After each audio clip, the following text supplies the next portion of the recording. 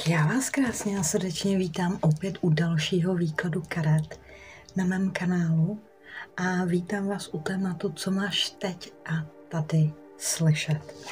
Výklad si najde přesně ty, kteří to mají slyšet. Tak pojďme na to.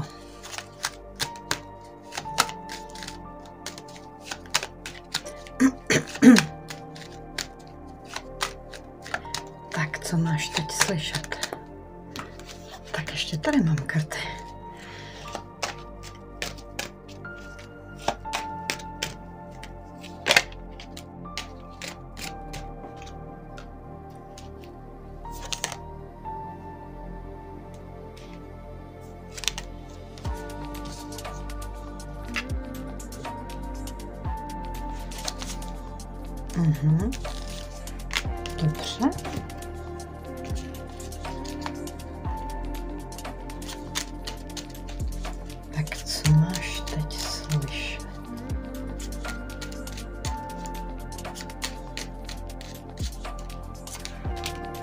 Hm, to mě nepřekvapuje.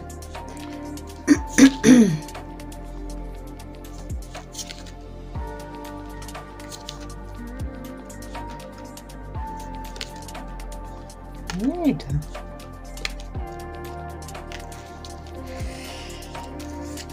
Tak, dobře. tak. Já tady cítím, to je, to, mě fakt nepřekvapuje, protože cítím, že to je opět jako vztahové. Ale nedělím se, jo, hodně kolektivita prostě řeší vztahy, řeší mezilidské vztahy. Je to jedna primární věc, kterou my lidé řešíme, takže mě to ani nepřekvapuje. Nicméně, čeho se tento výklad bude týkat? Tento výklad se totiž týká konkrétní osoby, a já cítím, že tato konkrétní osoba a se k vám nezachovala úplně hezké. A šestka poháru nás vrací opravdu do minulosti. A kdokoliv je tato osoba, a tak se nezachovala úplně nejez, nejpěkněji vůči vám. A toho času jste dostali lekci vy. Toho času jste dostali lekci vy a že byla opravdu pěkně bolestivá. Nicméně, co tady cítím, je, že uběhl nějaký čas. A s tímhle časem a ten člověk dostal tuto lekci zpátky. Tento člověk dostal tuto lekci zpátky. Nejprve vám tento člověk zasadil tuhle lekci a bolelo to jako čert. Bolelo to opravdu jako čert. A vy jste, se, vy jste povstali a z těchto lekcí jste se uzdravili, možná i poučili a šli dál. A mezi tím tento člověk a, dostal zpátky tyto lekce. Ne možná identické, ale ty lekce jsou v podstatě takové, aby ho bolely stejně jako vás. Protože co nebolí, nemá potom šanci nějakým způsobem vyrůst. A určitě se zhodneme na tom, že největší, nejbolestivější momenty v našem životě nás dokázali opravdu posunout dále. I když bychom třeba nechtěli, nebo byli zatvrzelí, a byli možná slepí i hluchí, a tak vlastně ty nejbolestivější momenty nás dokázaly transformovat a někam nás posunuli. A tenhle člověk zažil určitou zkušenost, lekci ve svém vlastním osobním životě, a které řekněme, na úrovni škály možná bolely opravdu stejně jako tehdy, když vám tento člověk dal prostřednictvím své přítomnosti tyto lekce. A tak misky vach jsou nějakým způsobem dorovnány. Ale a já prostě cítím, že kdokoliv je tento člověk, tak on dozral k nějakému uvědomění. Prostě dozral.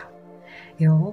A jak říkám, ne všichni máme takové jako vědomí, ne všichni máme vědomí, svědomí, ale ono jde opravdu cítit, jo, že toho člověka to někam posunulo na jeho cestě.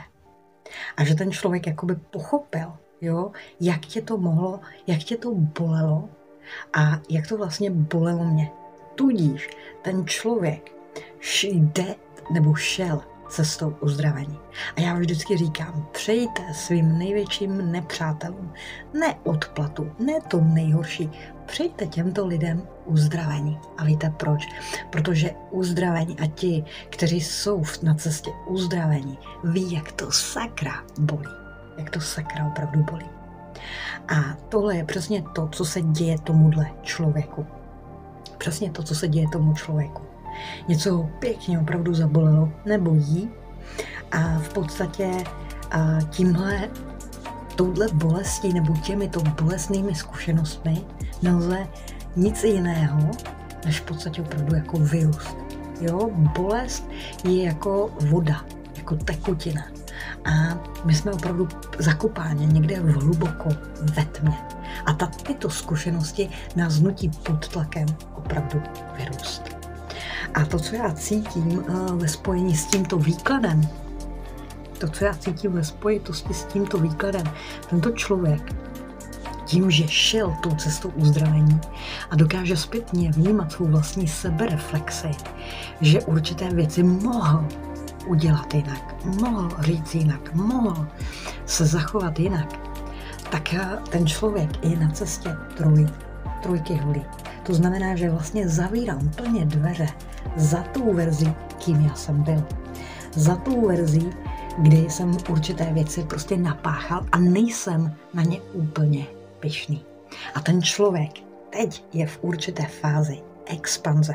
To znamená, že rodím se do nějakého svého nového já. Ne, nejsem perfektní, nejsem svatoušek, nedělám všechno správně. Ale jsem na cestě, kdy k tomu můžu dojít. A aby to bylo pro tohohle člověka opravdu možné, tak ten člověk strašně opravdu přemýšlí poslední, poslední dobou, že on si to prostě potřebuje, nebo ona si to prostě potřebuje uzavřít, anebo prostě douzavřít. A ten člověk je opravdu mířen k tomu vedení a k té akci, že s vámi se ten člověk buď chce sejít, nebo s vámi chce mít prostě tuhle komunikaci, konverzaci a chce vlastně ještě jednou nějakým způsobem tu minulost um, jakoby zavřít s vámi. Jo, zavřít ji prostě s vámi. A já tam prostě cítím potřebu se v podstatě od toho jako odpojit. Jo, protože jsem si vědomý a díky tomu, díky té cestě, kterou jsem já prožil, a že potřebuji si to s tebou nějak jako dát na pravou míru. Jo, možná to vůbec ničemu nepomůže možná a je to úplně k ničemu. Ale on, ten člověk, opravdu cítí, že to musí udělat. I kdyby jste mu fakt bouchli dveřmi, i kdyby to bylo tak nebo tak, ten člověk prostě cítí, já to potřebuji prostě udělat. Jo, já to prostě potřebuji udělat. Jinak já se nedokážu prostě pohnout dále. Jo, je tam prostě vyjádření toho, nebo uznání něčeho. Jo, a možná udělal jsem chybu. Já jsem si vědomý toho, jaký to mělo efekt na tebe. Jsem si vědomý toho, jak tě to třeba zasáhlo. Jo, ale jak říkám, tohle by se nestalo, kdyby ten člověk nedostal tu lekci. My máme totiž na spodu balíčku Sana Germain. A Saint Germain v podstatě ukazuje, že tyto lekce byly velké v životě tohohle člověka. Že v podstatě to mělo efekt určitého opravdu probuzení nebo vědomí. Jo? A díky tomu ten člověk potřebuje vyjádřit. Vyjádřit mezi vámi mnoho věcí, které musí být z jeho strany vypovězeno. Jo?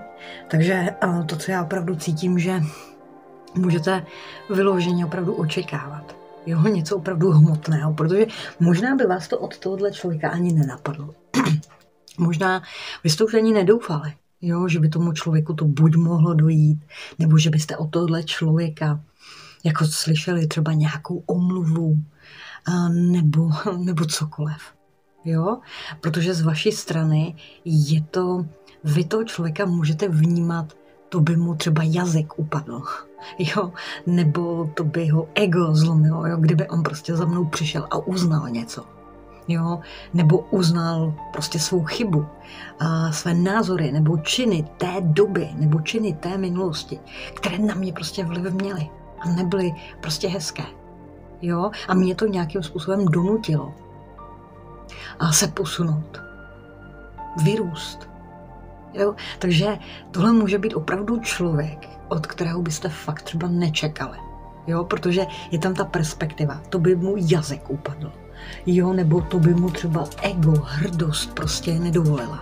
Jo, aby on třeba, já nevím, nebo ona um, mi do očí třeba řekla, jo, nebo cítila, vnímala, ospravedlnila se, omluvila se, cokoliv.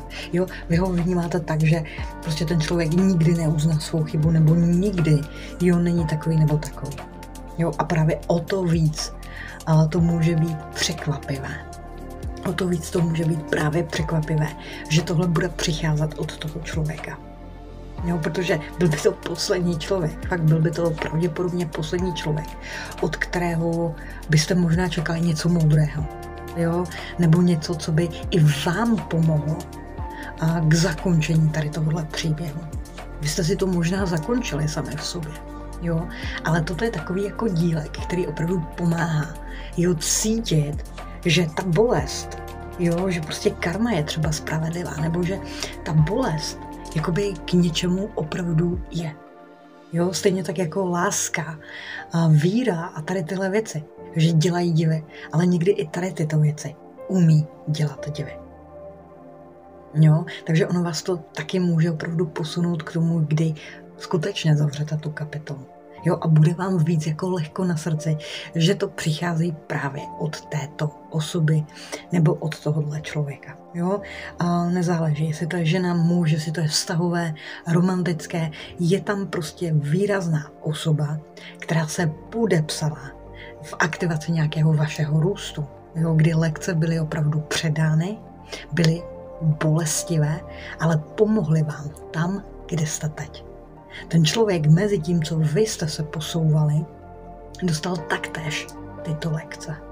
Jo, možná jiné, ne identické, ale prostě v tom, aby byly stejně tak intenzivní jako u vás, nebo byly procítěny stejně tak jako u vás. A tenhle člověk to s vámi potřebuje vyřešit, douzavřít. Jo? Ten člověk má tuhle perspektivu. Jo? Já bych jí to, já jí to potřebuji prostě třeba říct, potřebuji to třeba napsat, říct, setkat se, vidět se, probrat tohle. Protože já cítím, že když to neudělám, tak ten člověk dokonce i s tím Saint Germain může věřit na karmo. Jo, já chci třeba začít s čistým štítem. A pokud já se té osobě prostě neozvu nebo neřeknu to, co mám říct, tak já věřím, že mě buď karma potrestá, jo, nebo že se mi třeba nebude dařit, nebo že um, prostě věří prostě ten člověk v karmu. Teď věří ten člověk v tu karmu, jo, protože pochopil, že karma prostě existuje. Jo? A tím vlastně dokázal otevřít, jo? otevřít to srdce, jo? vcítit se, jak jste se mohli třeba cítit.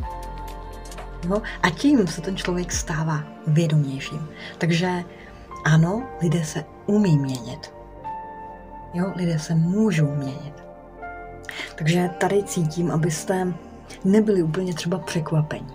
Jo, když opravdu něco bude gravitovat od tohohle člověka a vy budete vědět, kdo to je. Jo, protože, jak říkám, jsou v životě lidé a není jich moc kteří nám zasadí opravdu velice intenzivní nebo bolestivé lekce. Jo? Uh, myslím si, že budete prostě vědět, kdo ten člověk je. A já vám můžu jenom poradit jednu věc. Můžete tomu být otevření, taky nemusíte. Jo, taky nemusíte. Jo, je to vaše jakoby příležitost. Jo, se od tohohle opravdu plně odpoutat, i když můžete mít pocit, že jste se už dávno plně odpoutali ale bude to záležet fakt na vás, jo? Jestli tomuhle člověku dáte prostor a ta karma konečně mezi váma dvěma bude, řekněme, uvolněná. Jo? A jestli opravdu se vyčistí, uvolní se a nebude tam nic, jo, co se musí mezi váma karmicky dořešit, a nebo něco takového. Jo, toto vnímám opravdu jako silné karmické propojení, kdy oba dva jste se učili zásadní lekce. A proto je v tom ta férovost. Nejprve jste byli vy, pak tenhle člověk. Oba dva jste vyrostli v jiném časovém intervalu, ale vlastně on je jakýsi poslední dílek, poslední miniaturní dílek ke kompletní uvolnění karmy. A to je to, co ho tak motivuje. Jo, to je to, co tak jako ho motivuje nebo jí, aby prostě řekl něco, co prostě ví, že je správné říct nebo udělat, co je správné udělat. Aby ta karma, jo, která se nabalila, mohla být úplně kompletně uvolněna.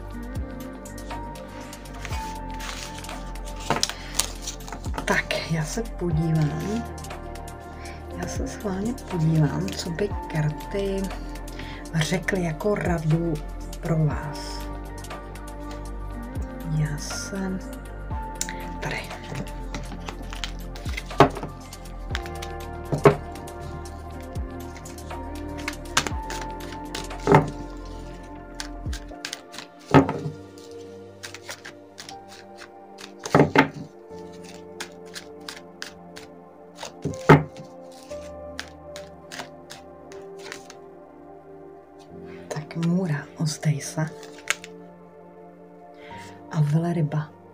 Velkému tajemství.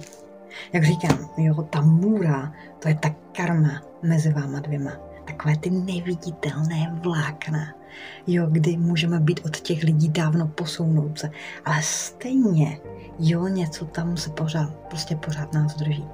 A veleryba, to je v podstatě fakt masivní uvolnění jo, kdy cítím, že všechno, kým jsem byl, jakoby už není a je to dobře. Jo, a já tady cítím, že vy se fakt potom můžete jako posunout. Jo, takže byla bych možná tomu jako otevřená, ale nemůžu opravdu, nemůžu prostě nutit. Všechno to bude záležet opravdu na vašem pocitu. Ale prostě cítím, že to je takový jako poslední dílek, jo, kdy až vás ten člověk kontaktuje a vás prostě jakoby zachladne, jo, nebo si řeknete, Ježíš Maria, jo, nebo cokoliv, tak buďte opravdu jako otevření. Jo, prostě cítím, že když tomu člověku aspoň dáte prostor, prostě řekne, co chce, nebo udělá, co chce, a tak cítím, že vy automaticky prostě budete instantně cítit, jo, že fakt to uvolnění nějak jako spadlo. Jo, je to jako kdyby ten vzduch i mezi vámi se v podstatě úplně kompletně vyčistil. Jo, kdy najednou ten odpad jo, včerejších uh, dní a minulosti najednou nejde tak cítit. Ba naopak, jo, jako kdyby tady někde nebyl. To neznamená, že vy s těmi, člověk, s těmi lidmi musíte mluvit nebo musíte být teď nejlepší kamarádi, známí, milenci. Ne, ne, ne. Jo, ale vy si všimnete, toho energetického posunu, i jak se vám prostě mnohem lépe dýchá. Jo, jako kdyby fakt něco těžkého se vás prostě pustil. Jo, ale se fakt cítili nejvíc, jak to jen jde po takové jako dlouhé době. Takže jo, má rada zní, byla bych tomu otevřena. Vaše volba je však finální. Jak se rozhodnete, je vaše dobrovolná volba nebo svobodná volba. A to byl dnešní intuitivní vzkaz.